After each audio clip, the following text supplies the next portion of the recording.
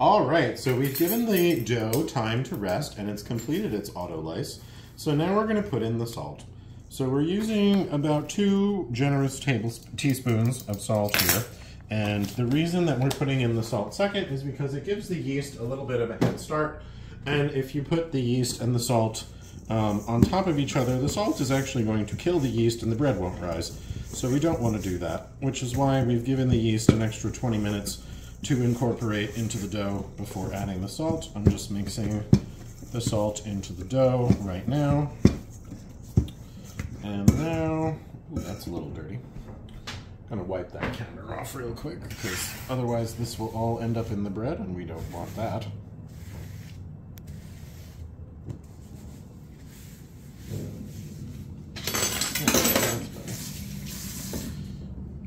All right. So now this is a pretty easy dough to knead by hand because it's not overly sticky. Um, but you might want to have your bench scraper close by just in case. So we're going to knead this until it passes the window pane test, and I'll show you what that is in a minute.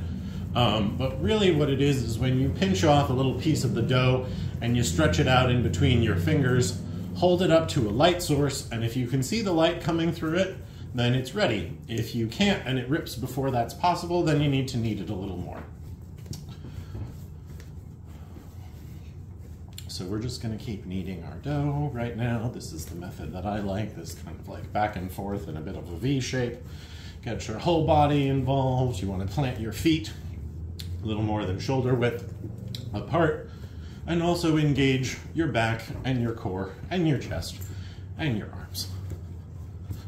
You know, making bread, if you do it this way, you burn off some of the calories that you're gonna eat later and it makes it a little less um, makes me feel a little less guilty about the amount of bread that I eat.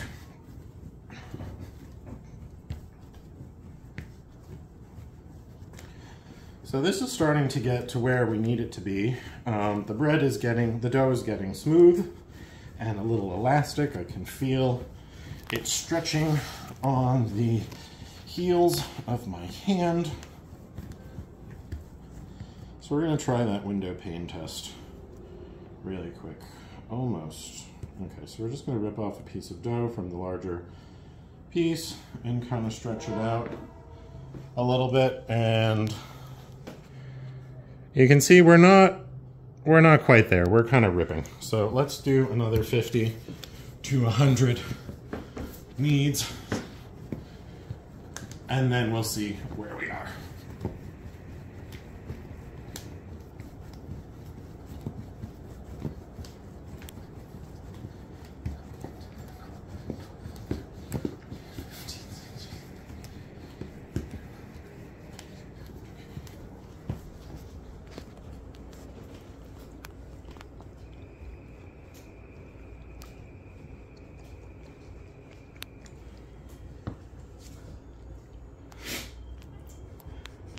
Getting a little screen time for the dog while we knead knead our bread.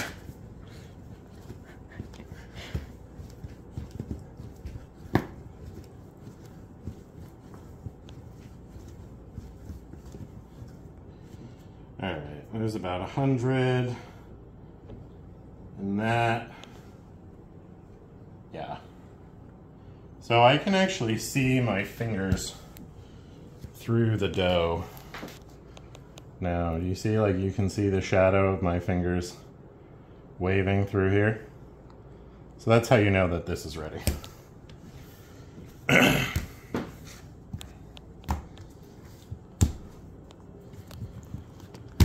so we're going to let the dough rest for an hour and a half to two hours and prove, and then we're gonna stuff it.